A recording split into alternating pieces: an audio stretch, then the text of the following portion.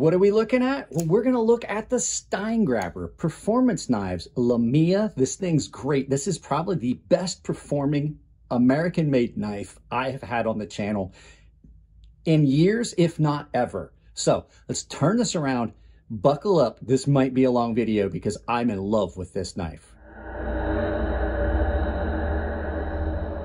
Guys, like I said in the intro, this is the Steingraber Performance Knives Lamia, and I haven't been this excited about a knife in a very long time.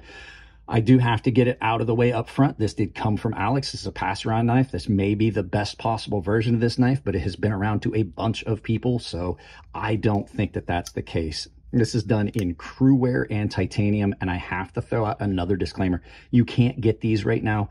Alex only does limited runs of these, and they are not cheap. This knife is about $650 shipped from Alex, and if you're looking for it on the secondary market, you're looking closer to $1,000. So that out of the way, let's do some quick specs on this. So you're looking at about seven and a half inches, seven and three quarters, maybe overall length. I don't have a lot of specs on this. You're looking at about a three and a half inch blade and the sharpened length is about three and a quarter. I'm doing it on a mat because I just don't have like a spec sheet to put up. Like I said, titanium and Cruwear, Cruwear at 64, 65 Rockwell. It's running on bearings currently, but Alex does send with the knife, he sends a set of washers. If you want to swap them out with washers, you don't have to do anything special. Um, you just basically slap those washers in. I like the bearings. It seems to be running really well on bearings. It is, like I said, a frame lock reverse flick only, but you can pop past the detent, slow roll that out if you want. It does have a steel lock bar insert, and the lockup on this is really early. There's a lot of life on this. Let's do some quick size comparison, and then we're going to throw into basically talking about how great this knife is here in a second. So your first knife is going to be Spyderco Knives Paramilitary 2. Uh, you can see it's a little bit smaller than the PM2. Uh, your next knife is Benchmade 940. You can see really similar in length on this. Uh, there's a knife you guys probably will know. And then the final knife, as always, Chris Reeve Sebenza Large 21. That's what's currently in my pocket today. You can see a little bit smaller than the 21. That's a knife most of you guys are going to know in the knife community. Let's get this out of the way and talk about how amazing this knife is. So when Alex sent me this knife, uh, I had seen a lot of people talk about this. I've got some people in my community, on my, my membership community, on the, on the Guilded server that talk about theirs that they have. And uh, so I, I kind of was not really knowing what to expect, but I had heard people gush over it. And then when I got this, I was completely amazed. This knife is so incredible. So let's talk about the overall look. So you've got a drop point blade that's done in Cruwear at 64 to 65 Rockwell. And it, this one is a machined blade. You can still see the milling marks on it where it was where it was done on a mill, not on a grinder. Comes down to a very unique plunge that allows you on these titanium handles to get way up on it right here, clear up against that blade. You don't have an actual sharpening choil. It just, the sharpened edge of it does not start till here. comes down super, super thin, but we're going to talk about that in a second. Um, you can get on it here where there's, where that, the cutout for the lock bar access uh, feels like a finger choil but you can also get way up here and just power through and cut down handles on it super comfortable. They come down nice and skinny here and then they open back up. It gives you a good secure grip. It is a very ergonomic grip. Pocket clip is beautiful, not a hot spot, in and out of pocket. It's great. There is no catch here where it catches on the pocket. And the weight on this is incredible because not only is that not super thick blade stock, but how, how much material's been removed on that to get that blade so thin. He's also done a good bit of weight reduction inside these scales. If you haven't seen it, I did a disassembly and maintenance of this knife. You can check out that video right up here. Um, and it just is amazingly light, but does not feel cheap. So sometimes when you get a knife that's light, it feels cheap, but this doesn't. This definitely has a quality feel to it. So those things out of the way, let's talk about the action. This is, like I said, currently running on bearings, reverse flick only, but the action on it is really good. It's dirty right now because it has been put through its paces, but after I did the disassembly and maintenance, this thing was buttery smooth, but it's got a lot of gunk in it, so I'm gonna have to clean it up again.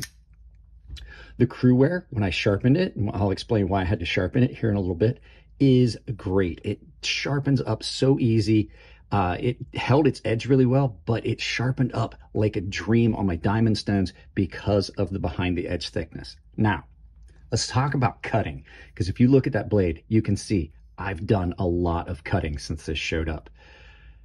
I did a lot of cutting, but I did a specific cut test for you guys that I want to show you right now because I want to talk about the behind the edge thickness and blade geometry on this knife. So let's cut to that footage right now. You've heard me talk about how blade geometry, edge geometry, behind the edge thickness all play into cutting. So I'm going to show you something real quick, but then I'm going to let you in on a secret on the backside.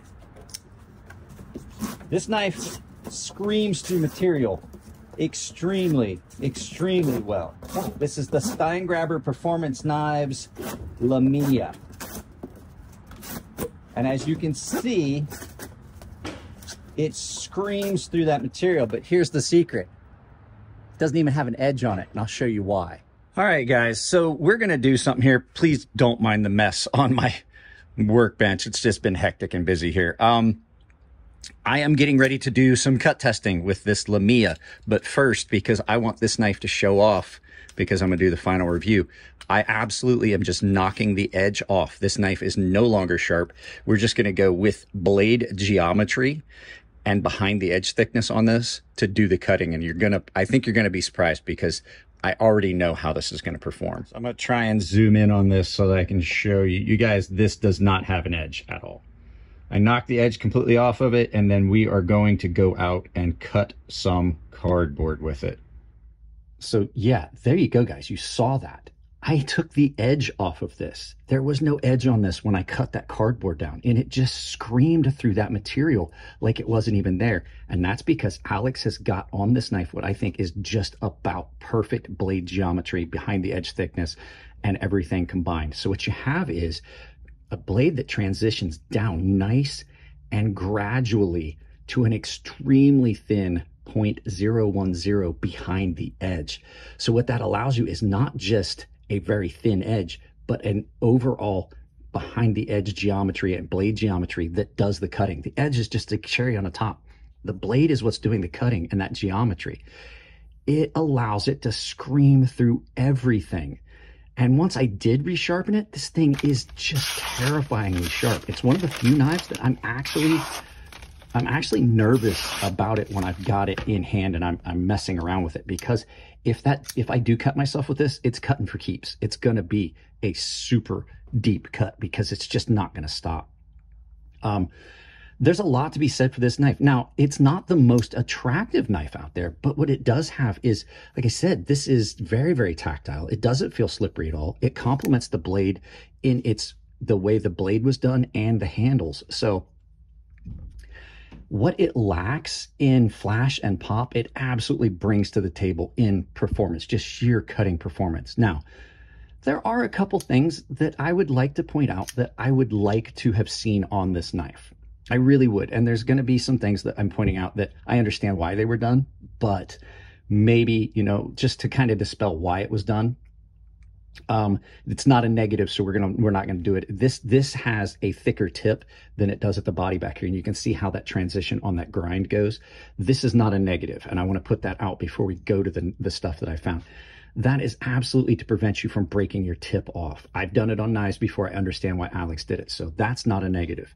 But we are going to get this flipped around and take a look at the bad stuff right after you guys hear from Coffee Brand Coffee. Guys, you guys know I love coffee. I even have my own personalized coffee mug. But did you know that a lot of the coffee companies out there take a lot of the money that you give them that they should be throwing back into the company to make a better product and turn it into activism dollars?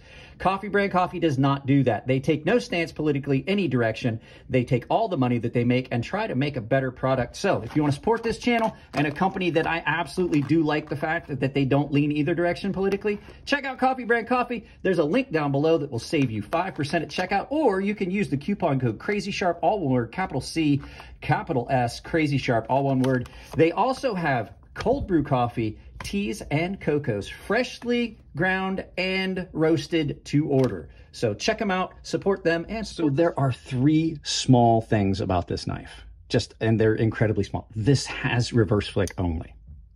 And that's going to put a lot of people off. I would like to have seen uh, maybe a completely disappearing flipper tab or something akin to the kickstop on this. I think that would just open it up to a broader market. Next thing, while the access to the lock bar is really good and you've got, I think that there was a little bit too much material removed here. I think you could have left a little bit more material here because that where it comes down and then it breaks over into where the lock bar insert is, it just, it's kind of a hard edge and feels a little sharp. Um, either like chamfer that a little bit more there or just leave a little bit more meat on that. And then the final thing is that I hate to say this, it's got a it's got a really hard edge right there and if you've got sensitive hands that is sharp that's sharp right on that corner. And a lot of that happens a lot of times with knives um, when they're a, a frame lock or a line uh, i'm sorry a frame lock like this that edge stays hard and all it would take would just maybe be just chamfer that over just a little bit. Not critiquing your knife alex but you, you did chamfer this. If you had carried that that chamfer or that fillet up into that, I think that would have given a smoother transition. Now, I don't know what version this is. I don't know if maybe those things have been addressed in future iterations of this knife or further iterations of this knife, but I do know those are just the little things that I found. But I have to say, this is probably, like I said, the best American made knife right now at the price point. Like if you're looking at all these other makers that are making the, the 600 to $700 knives in house, this would be the one that I would say just beats them all. The Oz Roosevelt doesn't come close. None of the Medford stuff does. I'm just not seeing anybody that's doing this that's doing it as well as Alex is. So with that being said, already going to be a long video. Let's turn this around and do some final thoughts and send you out about your day. Go guys. A knife that will cut even dull. This thing is incredible. Alex is amazing at what he's been doing with the fixed blades and now with this absolutely love this knife and I find it cool that it's been a long time since I've had a knife that was so sharp it scared me. Um, and it's been fun to have that, to go back to holy crap, that's terrifying. So that's it on this one, guys. If you want to support the channel, you know what to do. Give the video a thumbs up and share it with people. If you want to do it financially, bunch of ways you can do it. Coffee Brand Coffee and Tempered Trails both have links down below. Those are my channel sponsors. You saw the Coffee Brand Coffee. Uh, there's a discount code built into both of those websites. And then if you want to save money a different way, I also have got a coupon code over at Rosecraft Blades and Ferrum Forge Knifeworks and that coupon code is crazy sharp. All one word. Saves you 5% at both of those vendors. I've got an Amazon store down below. Take that link, pin it to your browser, use it for any Amazon shopping you're going to do, and it saves you, well, it doesn't save you anything at checkout, but it doesn't cost you anything extra. I don't want to lie to you. And then I have a membership. That's my preferred way for you guys to financially support the channel. There's a lot of fun that we have there. I've built a private Discord just for the uh, members. Uh, I also do giveaways for the premium and the baseline guys on that guilded server. The premium guys have access to a sharpening tutorial series, but everyone gets early access to videos and everyone gets exclusive content. So guys, that's it on this one. I love you all. Keep it clean in the comment section. If it's your birthday, happy birthday. And I'll see you in the next video.